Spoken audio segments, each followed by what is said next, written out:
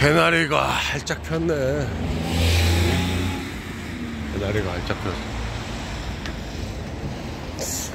예전부터 이 길이 궁금했는데, 여기가 수산시장 가는 길인가 보구나.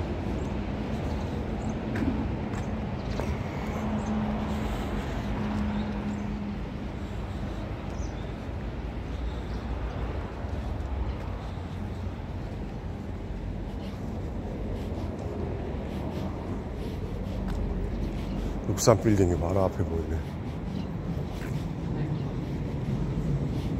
열차가 지나가는 거. 어.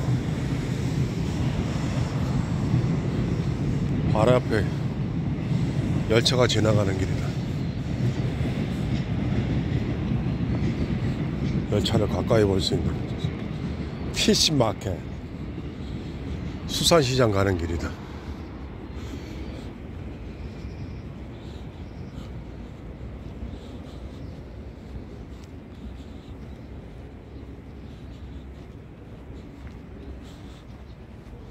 아, 육산 빌딩이 더 가깝게 보이네. 오, 여기에 일본 몰지각한 인간들이 여기다 쓰레기를 갖다 버렸네.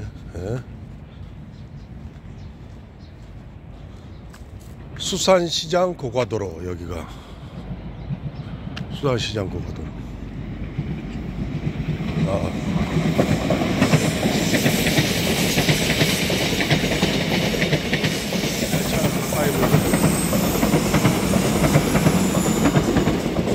産したボカドロが。